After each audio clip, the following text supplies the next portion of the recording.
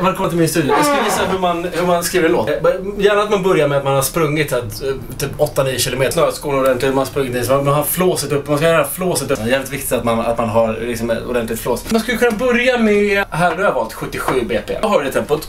Och så tar du förslagsvis en gitarr. Och så loopar du det, trycker på L, loop, loop. Loopar till med hela låten. Så har, har, har, då har du samma gitarr för hela låten. Man ska inte göra det för svårt för dig. Och du ska ju gärna komma med någon sorts slide. Och så. Och där ska, börja, sång- där ska sången börja. Det är som jag brukar säga, man vill inte gärna sjunga. Kan man prata med jävligt mörk, låg röst så är det så jävla viktigt att man man sjunger nå- någonting aktuellt. Nå- nå- nå- Någonting som ba- barn och vuxna förstår. Någonting för alla. Någonting för han, någonting för henne. Någonting för gamla, någonting för ung. Tinder liksom. Tinderveckorna var de mörkaste i världen. Jag swipar 400 bilder i minuten.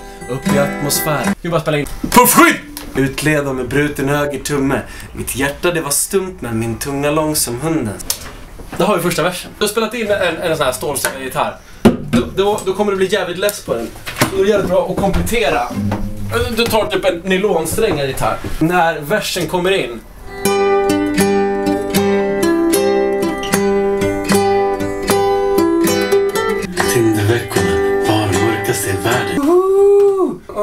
Någonting sånt.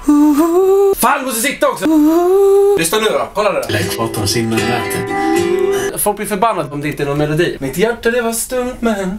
Det är skitbra om det är någon rad med hjärta liksom. Folk, alltså popmusik, folk älskar hjärta. Sjunger de hjärta då har du en hit liksom. Det är inte jag som säger det, men så, så är det. Utled med bruten höger tumme.